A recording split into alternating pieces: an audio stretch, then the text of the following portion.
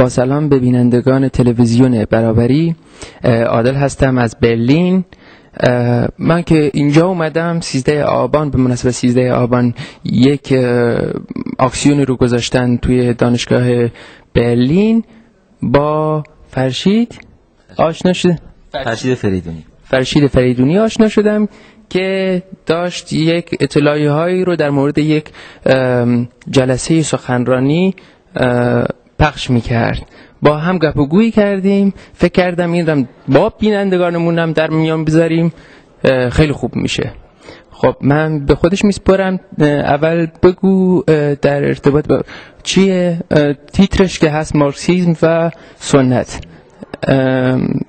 تعریف می‌کنی برای بینندگانمون؟ مثلا توی چکیده مطلبی که می‌خوای تعریف بکنی توی سخنرانی چی هستش؟ آره اول می‌خواستم منم از طرف خودم تشکر بکنم و به دوستان عزیز در و شنوندگان عزیز در تلویزیون برابری سلام عرض بکنم. منتها قبلا چند تا جمله در رابطه با خود این انجمن ما. ما یه انجمنی داریم به نام پژوهش جنبش اجتماعی در ایران و در واقع ما الان مدت ده ساله که اونجا فعالیت می‌کنیم.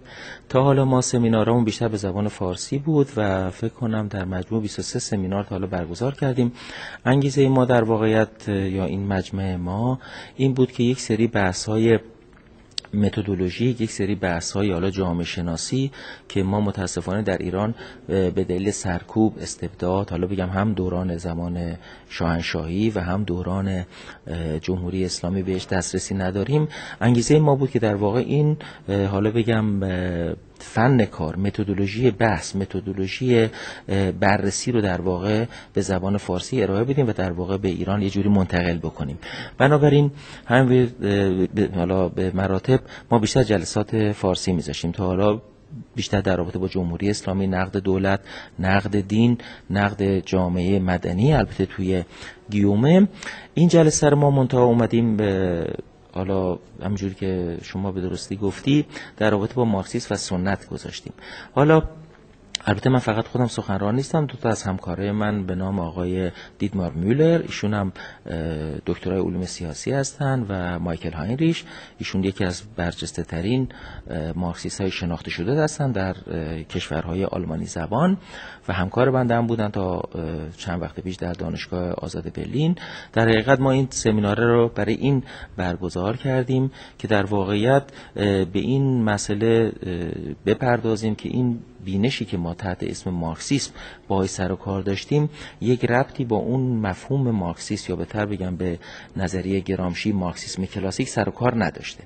این مارکسیسم کلاسیک در واقع همونجوری که حالا گرامشی به درستی توضیح میده این از یک نقد درون ذاتی سه تا پروژه متفاوت.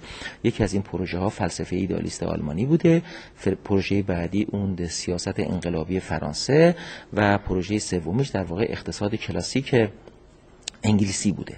مارکس این سه تا پروژه رو با همدیگه ور داره به صورت درون ذاتی نقدش می‌کنه و از اینا در واقع یک سنتز می‌سازه یک بینش دیگری می‌سازه یک جهان بینی درست می‌کنه و از همین نقدی هم که در واقع اعمال می‌کنه برمیداره یه اوتوپی برای تشکیل یک نظم نوین می‌سازه.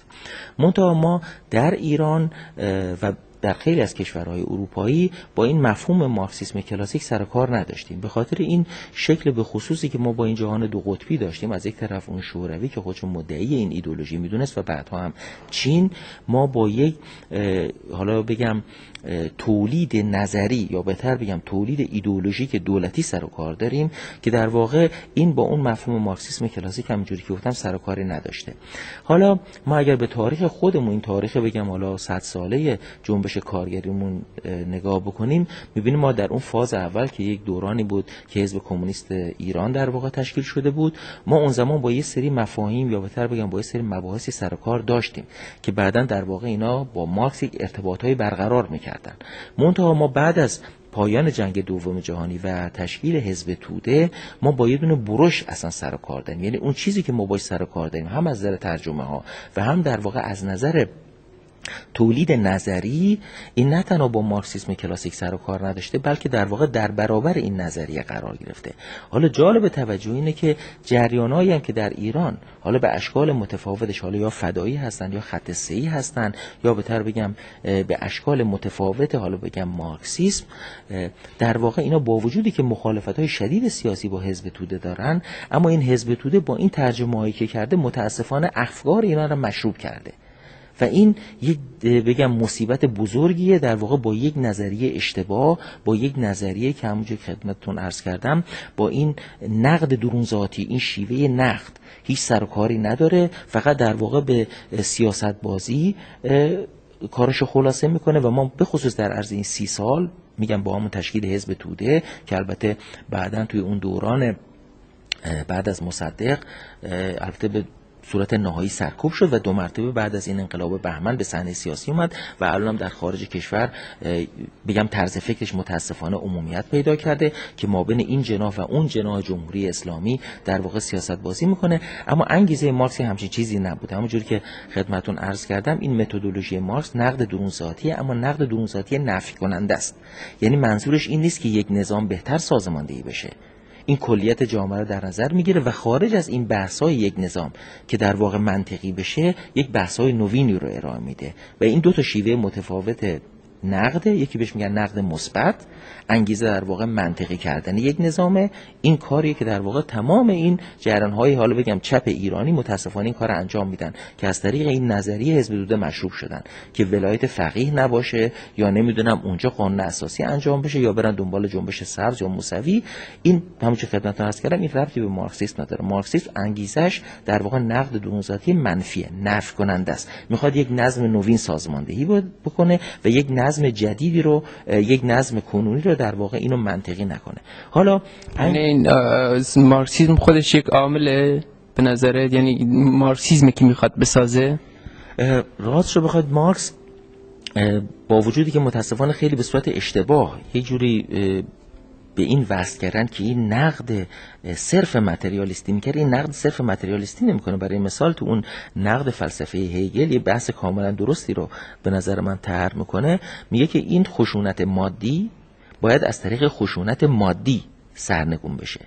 اما میگه موقعی که این نظریه از طریق انبوه مردم فراگیر بشه همین نظریه تبدیل به خشونت مادی میشه.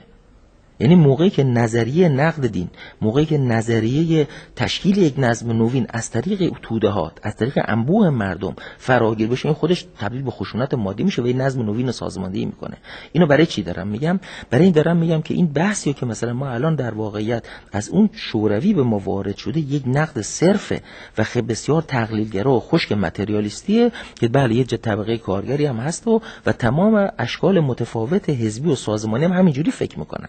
که فقط یک حزبی رو درست بکنن بدون ارتباط با این طبقه کارگر و برن در واقع به عنوان حالا بگم وکالت و یا نماینده یا بهتر بگم خدمه بیجیر مواجه به این جریان اطلاعیه بدن و غیره فعالیت بکنن بدون اینکه این نظریه انقلابی رو در واقع بتونن مابین این انبوه مردم فراگیر بکنن. فکر می‌کنی از با رواجش چجوریه که این نظریه فراگیر میشه؟ چجوریه که این توده ای می‌خواد بشه لزومی داره که مثلا یه نظریه ای رو بیاریم مثلا توده ایش بکنیم به پرورونیم نمی‌دونم توده ایش بکنیم یا نه؟ حرکت از خود مبارزات اجتماعی که در میاد. یعنی بحث آگاهی طبقاتی از کجا بروز می‌کنه؟ آیا از کتابخونه های دانشگاه ها سر در میاره یا از درون مبارزات روزمره اجتماعی که تنویر پیدا می‌کنه و به یک شکل خاصی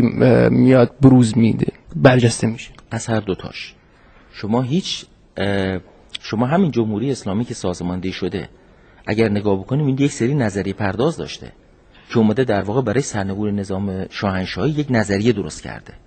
ما هم اگر می‌خوایم در واقع همچی کاری بکنیم باید برای سرنگونی نظام جمهوری اسلامی یک نظریه دیگر ایجاد بکنیم. یه تفاوت هست ولی. تفاوت هست. تفاوتش اینجاست که این نظر این قرار نظریه‌ای باشه یا آگاهی باشه که می‌خواد کلیت جامعه طبقاتی تا به حال رو زیر سوال ببره و از هم به پاشونه. یک دنیای دیگر براندازه. و اون توی قالب سیستم اگه اون معنای تاریخی یعنی اون تغییری که مثلا توی جمهوری اسلامی پیش اومد در مقابل مثلا رژیم ما قبلش یه چیز درون سیستمیه. از لحاظ طولانی نگاه تو زمان تاریخیش نگاه بکنیم. جامعه طبقاتیه ولی اگر بخوای جامعه طبقاتی رو از بین ببری باز هم به اون شیوه؟ منم با شما هم نظر هستم. این بحثی که شما به درستی ارائه می‌کنید این جریان اسلامی یا همین حالا بگم قشر آخوند که ما داشتیم این موقع از نظام شاهنشاهی مجزا نبوده. حالا یه بحثی از اسمش از تمدن و تاریخچه تمدن ستیزی در ایران یک نوشته ای هست و اگر اینو ما بخوایم بررسی کنیم می‌بینیم ما با سه جناح متفاوت تو ایران سر کار داریم. یک جناحی هست که این جناح من بهش میگم حالا شووینیست فارس یا شووینیست ایرانی یک بخشی هست این جناح ملی مذهبیه و یه بخشی هست به نام جناح اسلامی. شما همین تاریخ 100 ساله ایران نگاه بکنید ببینید این سه تا جناح در واقع همیشه فعال بودن نماینداشون رو در مجلس داشتن در سرکوبا شرکت می‌کردن و فرای اینها شاهنشاه از یک طرف زللا فل از یک طرف شاهنشاه آریامهر بود. و این سجانا سجانا در واقع در برابر همدیگه قرصشون داد و حفظشون می‌کرد. و این ساختار بعد از نظام جمهوری اسلامی شکسته. بنابراین درست میگی. این یه دونه تحولات کلی در سیستم همین طبقاتی اتفاق افتاده و منم راستش بخواد با این مفهوم انقلاب اسلامی شدیدا مخالفم. اینجا انقلابی به اون صورت اتفاق نیفته. ما یه فروریزی فرهنگی داریم. ما واقعا سقوط کردیم. انقلاب یعنی شکوفایی. و این انقلاب اسلامی نبوده. یه دونه تحولاتی و عقب افتاده ترین قشر جامعه قشر طبقه حاکم اومدن سر کار و هنوز ما با اینا درگیر هستیم. حالا اما این بحثی که من دارم بحث می‌کنم در رابطه با مارکسیسم این داره به ما میگه که کسی که می‌خواد فعالیت سیاسی بکنه باید از طریق نقد درون ذاتی این سه تا پروژه رو برداره به نقد بکشه. یکی اون فلسفه سیاسیه که ما فلسفه فیلسوف تو ایران نداریم ما با مذهب سر کار داریم. باید بریم به نقد درون ذاتی مذهب. باید برداریم نقد ساختار اجتماعی رو بکنیم که همون در واقع اون جامعه مدنیه که ما متاسفانه نداریم به جاش نهادهای متفاوت اسلامی داریم مثل هیئت های مختلفه مثل بازار و اصلا مهمتر مثل حوزه های علمیه که در واقع نظریه میدن و برم دارن برای جمهوری اسلامی توافق ایجاد می‌کنن. و اصلا مهمتر باید بریم این زیربنای جامعه رو نقدش بکنیم. جامعه ایران در عرض این صد سال اخیر از یه دونه جامعه که راه آهن به زور درش میساختن تبدیل به یه جامعه مدرن حالا بگم از نظر صنعتی از نظر صنعتی بانک های مدرن اونجا کار می‌کنن وام میدن. در واقع ما در یک شهری که 12 میلیون نفر زندگی می‌کنن تمام این ساختمان ها و غیره که از هوا که نیفتاده خونه طبقه کارگر ساخته. باید ببینیم در یک جامعه ببینیم زمینه مادی داریم. طبقه کارگر به عنوان مسلط اونجا هست. متاسفانه این نظریه طبقه کارگر یک نظریه متاسفانه حالا بگم اسلامیه. و ما چون که تا حالا دنبال این کار نرفتیم این نقد درون ذاتی بر این اسلام ایجاد نکردیم متاسفانه هم موفق نشدیم که این طبقه کارگر رو از اون نقش فرودستی که داره برداریم در واقع بیاریمش بالاتر یا هم مرتقش بکنیم. حالا گرامشی در این رابطه مفهومی استفاده می‌کنه اونها کاراتاسیس. کاراتاسیس یعنی تصویه ذهنی. میگه اگر قرار این عینیت یعنی این چی بهش میگن؟ ابژکتیویته این ابژکتیو این وسیله عینی با این ذهنیت ادغام بشه هستی با آگاهی ادغام بشه ضرورتش این هست که این طبقه فرود است از یک تصویر ذهنی براش اتفاق بیفته. بدون در واقع دنیا و سعادت در این دنیا جستجو بکنه و نه برای آخرت استفاده زندگی بکنه. خوشبختانه تو اونجایی که من دنبال کردم الان بهترین شرایط برامون ایجاد شده. اگه خاطرتون باشه 8 سال جنگی که ما در واقع با عراق داشتیم. حالا من و شما نه منظورم ایران با عراق داشت. اینا در واقع تمام سربازها رو بسیجی ها رو ورم داشتن با آخرت و بهشت و غیره. اینا رو میفرستادن جنگ و اینا میمردن یا معلول می‌شدن. ایران هم مشخصا همین جنگ و پایان داد چون دیگه بسیجی پیدا نکرد. ای از اون دوران به بعد ما واقعا با یه درگیری داریم. حالا بحثایی هم که من در رابطه با جمهوری اسلامی طرح می‌کنم حالا این میگن جنبش سبز و غیره که اینا البته قبول ندارم. ما با یه بحران ایدئولوژی سر کار داریم. مردم ایران دنیوی شدن و با این چیزهای اخروی و به غیرت سعادت رو در اونجا جستجو نمی‌کنن. جنگ هم نمیرن حاضرم نیست شهید بشن و غیرت اصلا زبانشون متحول شده خوشبختانه.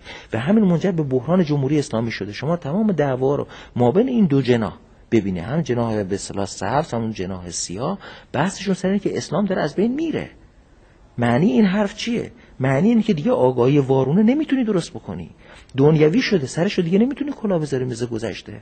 که حالا با شعارهای دیگه اومدن دو مرتبه می‌خوان حالا بگن یه تعریفی دیگه از اسلام بدن در واقع همون کلاه حالا دو مرتبه رو بیان بزنن سرمون. و اینو ما باید به فال نیک بگیریم. متاسفانه همینجوری که حالا تو این سمینار هم در واقع می‌خوایم بحث بکنیم ما باید با یک نظریه دیگری وارد مبارزات سیاسی اجتماعی بشیم.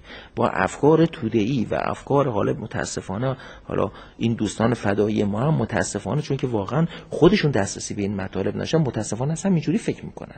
یکی از همین دلایل ازمهلاله همین جریان های سنتی احساب سنتی حالا بگم فدایان و غیره و خط سیرها رو مشخصا در همین باید جستجو کنی که این نسل جوان به این نظریه ها دیگه تن نمیده چون خود اینا هم اخروی هستن. حالا بحث داره که توی همچین وضعیتی که ما یه جامعه مد...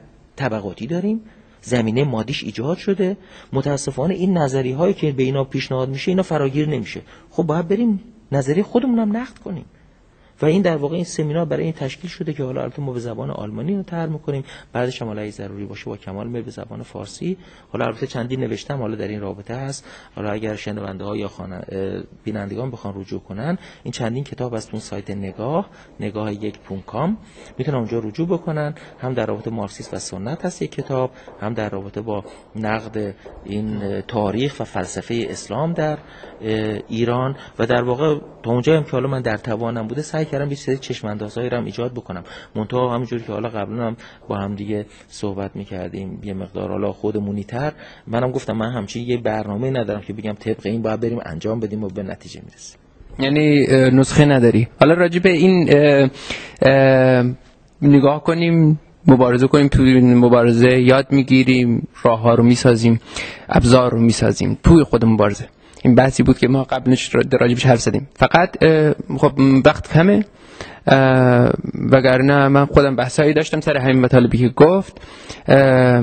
مثلا سر اون که ما بیایم مثلا این نظریه ها رو بسازیم و روشون کار بکنیم این وظیفه ماست. مثلا بیایم اون ما کی هست؟ ما اکادمیسی. یعنی من فکر می‌کنم.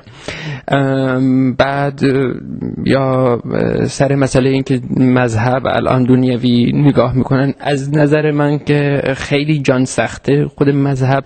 مذهب می‌تونه به راحتی چهره عوض بکنه تغییر بشه دفرم بشه. از لحاظ این که آیا مثلا یک آگاهی وارونه این فقط مذهب نیست که آگاهی وارونه است بلکه تمامی ایدولوژی های جامعه طبقاتی به نظرم آگاهی غلط رو تلقین می‌کنه. اینکه از خود بیگانگی انسان رو ما دست آخر ازش می‌زنه بیرون. خیلی بحث ها هست. خیلی حرفا رو می‌تونیم با هم بکنیم. ولی اگر هم خواستید با نظرهاش بیشتر آشنا بشید و دسترس داشتید می‌تونید توی اینترنت نگاه بکنید. نگاه یک dot com. یا اگر که تونستید بیایدم برلین روز 22 نوامبر هست. حالا اول در تایید حرفت ما یکی از تزای فویرباخ اینجا نوشتیم تز 11 فویرباخ مارکس رو که فیلسوفای متفاوت جامعه رو در واقعیت تعبیر و تفسیر می‌کنن. انگیزه اینه که این جامعه رو دیگرگون کرد. دیگرگون. و این تف... اینم که ما اینجا نقل قول آوردیم از مارکس از رفیق مارکس در واقع بی دلیل نبود. یعنی منم یه مقدار مثل خودت فکر می‌کنم. اما با کمال سر اینا هم بحث خواهیم کرد. اما این سمینارش در تاریخ 22 نوامبر هست. از ساعت دو بعد از ظهر شروع در؟ در کانون پناهندگان سیاسی ایرانی در برلین. بعد شمارش هم هست رویتر اشتراس 52 در منطقه نوکلن 120 47 برلین.